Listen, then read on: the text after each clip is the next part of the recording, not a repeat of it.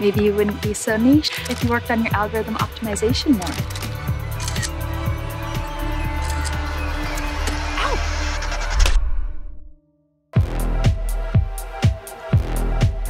Have you noticed your metrics going down lately? Can we crop her out? I got a better idea.